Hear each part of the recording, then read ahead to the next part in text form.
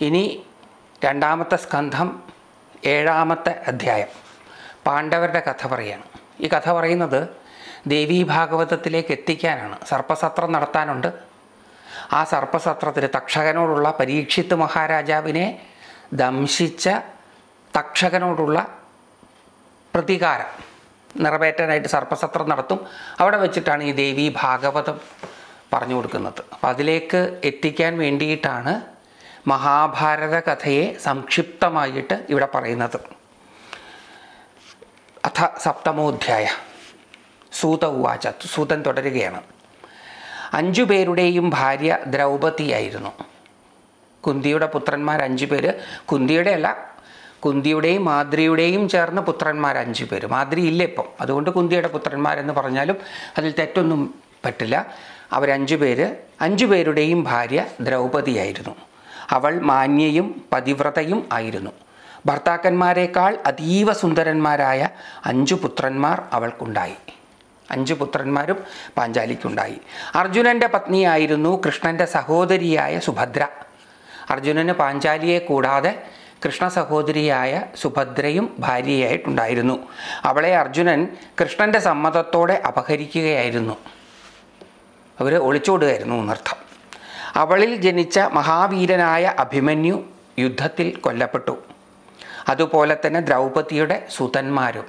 ദ്രൗപതിയുടെ പുത്രന്മാരെ അശ്വത്ഥാമാവാണ് കൊല്ലുന്നത്. അഭിമന്യുവിനെ ജയദ്രഥനാണ് കൊല്ലുന്നത്.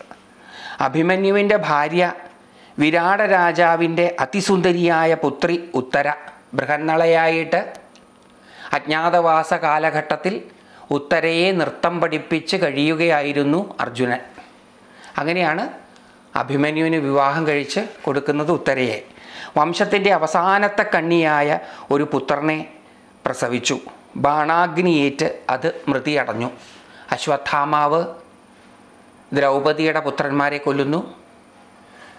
വ്യസനം കൊണ്ട് സഹിക്കാൻ വയ്യാതെയായ പാഞ്ചാലിയോട് അശ്വത്ഥാമാവിന്റെ ശിരസറത്ത് കൊണ്ടുവന്ന് തന്ന് അതിലിരുന്ന് ഉദകസ്നാന ക്രിയ ചെയ്ത് സങ്കടമടക്കാം എന്ന് അർജുനൻ പറയുന്നു. അശ്വത്ഥാമാവിനെ പിടിക്കാൻ പോകുന്നു. പ്രാണരക്ഷാർത്ഥമോടുന്ന അശ്വത്ഥാമാവ് ബ്രഹ്മാസ്ത്രം പ്രയോഗിക്കുന്നു. ആ ബ്രഹ്മാസ്ത്രം അടക്കുന്നതിന്റെ ഭാഗമായിട്ട് ഉത്തരയുടെ ഗർഭത്തിലുള്ള ശിശുവിനെ അത് ഹനിക്കുന്നു. അങ്ങനെ ബാണാഗ്നിയേറ്റ് ബ്രഹ്മാസ്ത്രാഗ്നിയേറ്റ് അത് മൃതിയടഞ്ഞു. കൃഷ്ണനാകട്ടെ ആ മഹാഭാഗിനേയ പുത്രനെ ജീവിപ്പിച്ചു. കൃഷ്ണനാണ് അതിനെ പുനർജീവിപ്പിച്ചത്. അശ്വത്ഥാമാവിന്റെ ബാണത്താൽ ദഹിച്ച അവൻ ജീവിച്ചത് കൃഷ്ണന്റെ അത്ഭുത പ്രതാപം കൊണ്ടാണ്. വംശം പരീക്ഷീണമായിരിക്കെ ജനിച്ച ഉത്തമ പുത്രനായതുകൊണ്ട് അവന് പരീക്ഷിത്ത് എന്ന് ഭൂമിയിൽ എങ്ങും എന്ന പേര് ഭൂമിയിലെങ്ങും പ്രസിദ്ധമായി. പരീക്ഷണങ്ങൾക്കൊടുവിലാണ് ഈ ജനനം. വംശം പരീക്ഷീണവുമായി കൊണ്ടിരിക്കുകയാണ് ആ സമയത്ത് ജനിച്ചതായതുകൊണ്ട് ആ കുഞ്ഞിന് പരീക്ഷിത്ത് എന്ന് പേരിട്ടു. പുത്രന്മാരെല്ലാം മരിച്ചപ്പോൾ അതിദുഃഖിതനായ ധൃതരാഷ്ട്രർ ഭീമന്റെ കൊള്ളിവാക്കുകൾ ഏറ്റുകൊണ്ട് പാണ്ഡവരുടെ കൊട്ടാരത്തിൽ പാർത്തു. ദുര്യോധനൻ മരിച്ചു കഴിഞ്ഞതിന് ശേഷവും ഭീമന്റെ ദേഷ്യം അടങ്ങിയിട്ടില്ലായിരുന്നു. അപ്പം കിട്ടുന്ന തരത്തിൽ സന്ദർഭത്തിലെല്ലാം ധൃതരാഷ്ട്രർക്ക് വേദനയുണ്ടാക്കുന്ന വിധത്തിൽ കൊള്ളിവാക്കുകൾ ഭീമൻ പ്രയോഗിച്ചിരുന്നു.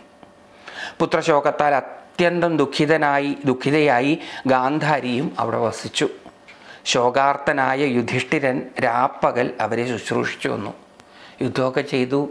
രാജ്യമൊക്കെ നേടിയെങ്കിലും യുധിഷ്ഠിരന് യാതൊരു വിധത്തിലുള്ള സമാധാനവും ഉണ്ടായില്ല തന്റെ ഉറ്റവരെയും ഉടയവരെയും എല്ലാം കൊന്ന് തന്റെ ബന്ധുജനങ്ങളുടെ മുഴുവൻ ദുഃഖത്തിനും കാരണമായ ഈ രാജ്യം. അത് ഭരിക്കുമ്പോൾ അദ്ദേഹത്തിന് ഒരു സന്തോഷവും ഉണ്ടായിരുന്നില്ല. യുധിഷ്ഠിരന്റെ സമ്മതത്തോടെ സഹോദരനായ ധൃതരാഷ്ട്രരുടെ അടുത്തിരുന്ന് അതിധർമാത്മാവായ വിതുരൻ ആ പ്രജ്ഞാചക്ഷുഷിനെ ഉപദേശിച്ചു. പുത്രവിരഹം കൊണ്ടുണ്ടായ ദുഃഖം ഓർമ്മിക്കാതിരിക്കാൻ എന്ന വണ്ണം ധർമാത്മാവായ ധർമ്മപുത്രരും പിതാവിനെ ശുശ്രൂഷിച്ചു. ധർമ്മപുത്രരെ രക്ഷിക്കേണ്ടുന്ന ഒരു അനിവാര്യത യുധിഷ്ഠിരർക്കുണ്ട്. കാരണം കുന്തിദേവി ഭർത്തൃമരണത്തിന് ശേഷം ഹസ്തിനാപുരിയിലേക്ക് ഈ അഞ്ചു കുഞ്ഞുങ്ങളെയും കൊണ്ടുവന്നപ്പോൾ രണ്ട് കൈയും നീട്ടി സ്വീകരിച്ചയാളാണ് ഈ ധൃതരാഷ്ട്രർ അതുകൊണ്ട് പിതാവിനെ എന്നോണം ശുശ്രൂഷിക്കുവാൻ ധർമ്മപുത്രരായ യുധിഷ്ഠിരർ ബാധ്യസ്ഥൻ ആണ്. ആ വൃദ്ധൻ കേൾക്കത്തക്ക വണ്ണം ഭീമൻ അത്യന്തം കുപിതനായി വാക്ഷരങ്ങൾ കൊണ്ട് അദ്ദേഹത്തെ അടുത്തിരിക്കുന്നവർ കേൾക്കെ മുറിപ്പെടുത്തി. ഭീമൻ ഇതൊന്നും ബാധകമായിരുന്നില്ല. ഭീമൻ കൊള്ളിവാക്കുകൾ കൊണ്ട് കിട്ടുന്ന സന്ദർഭങ്ങളിലെല്ലാം ഈ ധൃതരാഷ്ട്രരെ വേദനപ്പെടുത്തി. യുദ്ധത്തിൽ ദുഷ്ടനും അന്ധനുമായ നിന്റെ പുത്രന്മാരെയെല്ലാം ഞാനാണ് കൊന്നത്. ആ ദുശാസനന്റെ രക്തം മുഴുവൻ ഞാൻ കുടിച്ചു. എത്ര ഹൃദ്യമായിരുന്നു അത്. അന്ധനായ ഇയാൾ ലജ്ജയില്ലാതെ ഞാൻ കൊടുക്കുന്ന ഉരുള ഉണ്ണുന്നു. കാക്കയെപ്പോലെയും പട്ടിയെപ്പോലെയും ഈ മനുഷ്യൻ വെറുതെ ജീവിക്കുന്നു. സ്വന്തം അച്ഛന് തുല്യനായ ഒരാളെ ആളോടാണ് ഭീമൻ ഈ സംസാരിക്കുന്നത്. ഈ ഭീമൻ എന്തായാലും വലിയ സംസ്കാരമുള്ള ഒരാളാണ് എന്ന് നമുക്ക് കരുതുക വയ്യ. അപ്പോൾ പാണ്ഡവരുടെ കൂട്ടത്തിലും ഇങ്ങനത്തെ ആൾക്കാരുണ്ട്. കൗരവരുടെ പക്ഷത്തിൽ ദുര്യോധന പക്ഷത്തിൽ മാത്രമായിരുന്നില്ല. മോശക്കാരെന്ന് വേണമെങ്കിൽ നമുക്ക് പറയാം. പാണ്ഡവരുടെ പക്ഷത്തിലും ഇങ്ങനെയൊക്കെയുള്ള ആൾക്കാർ ഉണ്ടായിരുന്നു ഉണ്ട്. രണ്ട് പക്ഷത്തിലും നല്ലവരും ചീത്തയും ആയ ആൾക്കാരുണ്ട്. അതുകൊണ്ട് തന്നെ പുരാണ ഇതിഹാസങ്ങളിൽ വർണിക്കുന്ന യുദ്ധങ്ങൾ നന്മ തിന്മകൾ തമ്മിലുള്ള യുദ്ധം അല്ല. അത് ജ്ഞാനാജ്ഞാനങ്ങൾ തമ്മിലുള്ള യുദ്ധമാണ് ജ്ഞാനവും അജ്ഞാനവും തമ്മിലുള്ള യുദ്ധമാണ്. അതുകൊണ്ട് ആധ്യാത്മികമായിട്ട് വേണം പുരാണ ഇതിഹാസങ്ങളെ വിലയിരുത്തി മനസ്സിലാക്കാൻ. ഇതുപോലെ രൂക്ഷമായ അനേകം വാക്കുകൾ ദിവസവും ഭീമസേനൻ പറയും. എന്തൊരു അവസ്ഥയായിരിക്കും? ധൃതരാഷ്ട്രരുടേതൊന്നൊന്ന് ആലോചിച്ചു നോക്കൂ. ധർമാത്മാവായ യുധിഷ്ഠിരനാവട്ടെ അവൻ മൂർഖനാണെന്ന് പറഞ്ഞ് അദ്ദേഹത്തെ ആശ്വസിപ്പിക്കും. ധർമാത്മാവായിട്ടുള്ള ധർമാത്മാവായ യുധിഷ്ഠിരൻ പറഞ്ഞാൽ പോലും കേൾക്കാതെയായി ഭീമൻ. അപ്പോൾ ഭീമനോട് പറഞ്ഞിട്ട് കാര്യമില്ല. അപ്പം ധൃതരാഷ്ട്രരോട് പറഞ്ഞ് അവൻ മൂർഖനാണ്. അവൻ വിവരമില്ലാത്തവനാണ്. അവൻ ശാരീരിക ബലം മാത്രമുള്ളവനാണ് എന്നൊക്കെ പറഞ്ഞ് ധൃതരാഷ്ട്രരെ സമാധാനിപ്പിക്കും. പതിനെട്ട് വർഷം അവിടെ തന്നെ ദുഃഖത്ത് ദുഃഖത്തിലാണ്ട് കഴിഞ്ഞുകൂടിയ ധൃതരാഷ്ട്രർ തന്നെ വനവാസത്തിന് അനുവദിക്കണമെന്ന് യുധിഷ്ഠിരനോട് അപേക്ഷിച്ചു. ആരായാലും അപേക്ഷിച്ചു പോകും. ഇത്രയും കാലം കാലമെടുത്തതിലേ നമുക്ക് അത്ഭുതമുള്ളൂ. ധൃതരാഷ്ട്ര മഹാരാജാവ് ധർമ്മപുത്രനോട് അപേക്ഷിച്ചു. പുത്രന്മാർക്ക് വേണ്ടി ഇന്ന് എനിക്ക് വിധി അനുസരിച്ച് ഉദകക്രിയ നടത്തണം. പൊതുവേ അച്ഛൻ മക്കൾക്ക് വേണ്ടി നടത്താറില്ല. പക്ഷേ ഇദ്ദേഹം പറയുകയാണ് എനിക്ക് എന്റെ മക്കൾക്ക് വേണ്ടി ഉദകക്രിയ നടത്തണം. യുദ്ധത്തിൽ മൃതിയടഞ്ഞവർക്കെല്ലാം വൃകോദരൻ അന്ത്യകർമ്മങ്ങൾ ചെയ്തിട്ടുണ്ട്.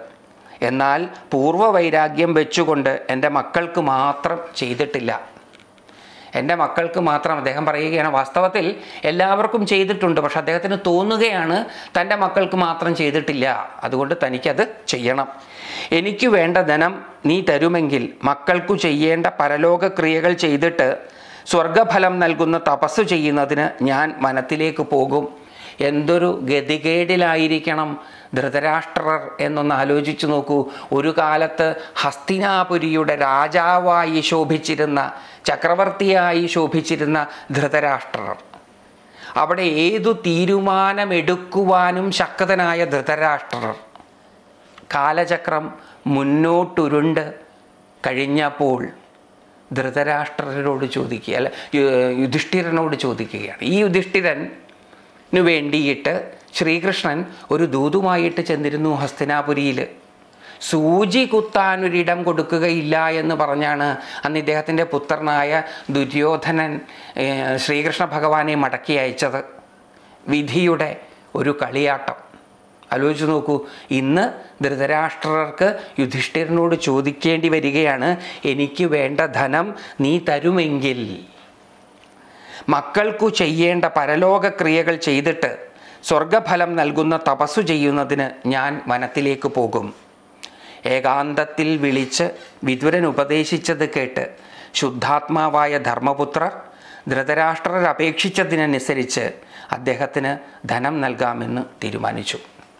അപ്പം ഇത് ധൃതരാഷ്ട്രർ യുധിഷ്ഠിരനോട് പറഞ്ഞപ്പോൾ വിതുരർ ഒറ്റയ്ക്ക് അദ്ദേഹത്തെ മാറ്റി നിർത്തി. എന്നിട്ട് യുധിഷ്ഠിരനോട് പറഞ്ഞു ധൃതരാഷ്ട്രർ ചോദിച്ചത് പ്രകാരം ധനം കൊടുക്കണം എന്ന്. അത് പ്രകാരം ധനം കൊടുക്കാം എന്ന് തീരുമാനിച്ചു. സ്വന്തം ആളുകളെ എല്ലാം വിളിച്ചു കൂട്ടിയിട്ട് രാജാവ് പറഞ്ഞു മഹാഭാഗന്മാരെ മക്കൾക്ക് പരലോക കർമ്മം നടത്താൻ ആഗ്രഹിക്കുന്ന അച്ഛന് ഞാൻ വേണ്ട ധനം നൽകട്ടെ. ഒറ്റയ്ക്ക് തീരുമാനിക്കാൻ പറ്റില്ല. വിതുരർ റെക്കമെൻഡ് ചെയ്തു. പക്ഷേ യുധിഷ്ഠിരനെ ഒറ്റയ്ക്ക് തീരുമാനിക്കാൻ പറ്റില്ല. എല്ലാവരോടും ചോദിച്ചിട്ടേ കൊടുക്കാൻ പറ്റുള്ളൂ. രാജാവിന് ഒറ്റയ്ക്ക് അനുഭവിക്കുവാനുള്ളതല്ല രാജ്യത്തെ ധനം. അത് രാജ്യത്തിന്റെ അഭിവൃദ്ധിക്കായിട്ട് ഉപയോഗിക്കേണ്ടതാണ്. അതുകൊണ്ട് ആ ധനം എടുത്ത് ചെലവാക്കുമ്പോൾ രാജ്യത്തിന്റെ സമൃദ്ധിക്കും സമാധാനത്തിനും ഉത്തരവാദിത്തപ്പെട്ട എല്ലാവരോടും ചോദിക്കണം. ഇതല്ലേ ജനാധിപത്യം? ഇതിലും വലുതാണോ? ഇന്നു നാം കാണുന്ന ജനാധിപത്യം. യുധിഷ്ഠിരൻ സ്വന്തം ആളുകളെ എല്ലാം വിളിച്ചു കൂട്ടിയിട്ട് പറഞ്ഞു മഹാഭാഗന്മാരെ മക്കൾക്ക് പരലോക കർമ്മം നടത്താൻ ആഗ്രഹിക്കുന്ന അച്ഛന് ഞാൻ വേണ്ട ധനം നൽകട്ടെ. അമിത തേജസ്സായ ജ്യേഷ്ഠ സഹോദരന്റെ വാക്ക് കേട്ട് കാര്യം ഗ്രഹിച്ച മഹാബാഹുവായ മാരുതി കുപിതനായി പറഞ്ഞു ഭീമന് ഇതിഷ്ടായില്ല നേരത്തെയും നേരത്തെ ധൃതരാഷ്ട്രരും അത് തന്നെയാണ് പറഞ്ഞത്. വൃഗോദരൻ ഭീമൻ എല്ലാവർക്കും വേണ്ട ക്രിയകൾ ചെയ്തു എന്റെ മക്കളുടെ മാത്രം ഒഴിവാക്കി. ഒരു പക്ഷെ ഭീമൻ തന്റെ ജ്യേഷ്ഠൻ പറഞ്ഞതനുസരിച്ച് എല്ലാവർക്കും വേണ്ടി ഉദകക്രിയ ചെയ്തിട്ടുണ്ടാകാം. പക്ഷെ ധൃതരാഷ്ട്രരുടെ മനസ്സിൽ ചെയ്തിട്ടില്ല എന്നാണ്. അത് ഏകദേശം സത്യമാകുമാറാണ് ഭീമസേനന്റെ പ്രവൃത്തിയും. എല്ലാവരോടും ചോദിച്ചു ഞാൻ പണം കൊടുത്തോട്ടേ എന്ന് അമിത തേജസ്സായ ജ്യേഷ്ഠ സഹോദരന്റെ വാക്കുകേട്ടു കാര്യം ഗ്രഹിച്ച മഹാബാഹുവായ മാരുതി കുപിതനായി പറഞ്ഞു ധൃതരാഷ്ട്രർക്ക് ആവശ്യമായ ധനം കൊടുക്കാൻ തീരുമാനിച്ചിട്ടാണ് എല്ലാവരെയും വിളിച്ച് ചോദിച്ചത്. എല്ലാവരോടും ചോദിച്ചിട്ടേ കാര്യം ചെയ്യൂ. ഇത് മനസ്സിലാക്കിയ ഭീമൻ കുപിതനായി അദ്ദേഹം പറഞ്ഞു ദുര്യോധനന് ഹിതം ചെയ്യാൻ വേണ്ടി ധനം നൽകണോ? ഇനി എന്തിനാ ധനം കൊടുക്കണത്? അന്ധനാണെങ്കിലും സുഖമായി കഴിയുന്നു കുത്ത് ധൃതരാഷ്ട്രർക്കിട്ട്. ഇതിൽ പരം മൂർഖത്വം എന്താണ്? ജ്യേഷ്ഠനോട് ചോദിക്കുകയാണ് ഇതിൽ പരം വിഡിത്തം എന്താണ്? അങ്ങയുടെ ഈ ദുർമന്ത്രം കൊണ്ടാണ് നമുക്ക് കഷ്ടപ്പെട്ട് കാട്ടിൽ കഴിയേണ്ടി വന്നത്. നമ്മളെല്ലാവരും കാട്ടിൽ കഴിഞ്ഞത് അങ്ങ് മറന്നുപോയോ? ഈ ദുർമന്ത്രം കൊണ്ടാണ് വേണ്ട രീതിയിലുള്ള ഉപദേശം ലഭിക്കായിക കൊണ്ടാണ് അങ്ങ് നമുക്ക് കാട്ടിൽ കഴിയേണ്ടി വന്നതിനു കാരണമായ തീരുമാനമെടുത്തത് അങ്ങയുടെ പിടിപ്പുകേട് കൊണ്ടാണ്. യുധിഷ്ഠിരനോട് പറയുകയാണ് ഇത് അന്നും പറയുന്നുണ്ട്. രാജ്യസഭയിൽ വെച്ച് ചൂതാടി തോൽറ്റ് സഹോദരന്മാരെയും ഒക്കെ പണയപ്പെടുത്തുമ്പോഴും ഇതേ ചോദ്യം ഭീമസേനൻ ചോദിക്കുന്നുണ്ട്. അപ്പം ഇത് ഭീമസേന അന്നു മുതലേ ചോദിക്കുന്ന കാര്യം ഈ ചോദ്യങ്ങൾക്കൊന്നും ഉത്തരം ഭീമസേനന് കിട്ടിയിട്ടില്ല. ഭീമസേനന്റെ മനസ്സ് ശാന്തമല്ല. യുദ്ധമെല്ലാം കഴിഞ്ഞിട്ടും. അപ്പോൾ അദ്ദേഹം യുധിഷ്ഠിരനെ ഓർമ്മിപ്പിക്കുകയാണ് അങ്ങയുടെ ദുർമന്ത്രം കൊണ്ട് ആരോ അങ്ങയെ വേണ്ടതല്ലാത്ത രീതിയിൽ ഉപദേശിക്കുന്നു. അതുകൊണ്ടാണ് അങ്ങ് ഈ ശരിയല്ലാത്ത തീരുമാനങ്ങൾ എടുക്കുന്നത്. അങ്ങയുടെ ഈ ശരിയല്ലാത്ത തീരുമാനങ്ങൾ കാരണം നമുക്ക് കാട്ടിൽ കഴിയേണ്ടി വന്നത് മറന്നുപോയോ? ദുരാത്മാവായ ദുശാസനൻ പാഞ്ചാലിയെ സഭയിൽ വലിച്ചിഴച്ചത് മറന്നുപോയോ? അങ്ങേക്ക് ഇഷ്ടമാവട്ടെ എന്ന് വെച്ചിട്ടാണ് വിരാട ഭവനത്തിൽ വസിച്ചത്. വിരാട രാജധാനിയിൽ കഴിഞ്ഞത് അങ്ങേക്ക് ഇഷ്ടമായിക്കോട്ടെ എന്ന് വിചാരിച്ചിട്ടാണ് യുധിഷ്ഠിരനോട് ഭീമസേനൻ പറയാണ്. അത്യധികം പരാക്രമശാലികളായ നാമെല്ലാം മത്സ്യരാജാവിന് അടിമപ്പണി ചെയ്തത്. അടിമപ്പണിയായിരുന്നു അവിടെ. വിരാട രാജാവ് എന്നൊക്കെ പറഞ്ഞാൽ നിസാരനായ ഒരു രാജാവാണ്. ആ നിസാരനായ രാജാവിന്റെ അടുത്ത് അടിമപ്പണി ചെയ്യേണ്ടി വന്നു. അങ്ങയുടെ വാക്ക് കാരണം അങ്ങ് കൊടുത്ത വാക്ക് കാരണം. ജ്യേഷ്ഠനായ അങ്ങ് ചൂതാടിയില്ലെങ്കിൽ ഈ നാശം സംഭവിക്കുമായിരുന്നു. ഇത് മുഴുവൻ ചൂതാട്ടത്തിനോടുള്ള അമിത ആഗ്രഹം കാരണം സംഭവിച്ചതാണ്. ആ ബലഹീനത കാരണമാണ് അങ്ങയുടെ ബലഹീനത കാരണമാണ് ബലവാന്മാരായ നമുക്ക് ഈ ഗതികേട് ഉണ്ടായത്. മാഗധനെ കൊന്നിട്ട് വിരാടന്റെ അരിവെപ്പുകാരനാകേണ്ടി വന്നു. എനിക്ക് കീചകനെ കൊന്നു. പാഞ്ചാലിയെ ഉപദ്രവിക്കാൻ ശ്രമിച്ചതുകൊണ്ട് എന്നിട്ട് അവിടെ ഞാൻ എന്റെ പണി എന്തായിരുന്നു? ഭീമസേനൻ ഓർമ്മിപ്പിക്കുകയാണ് യുധിഷ്ഠിരനെ അരിവെപ്പ്. അതായിരുന്നു എന്റെ പണി.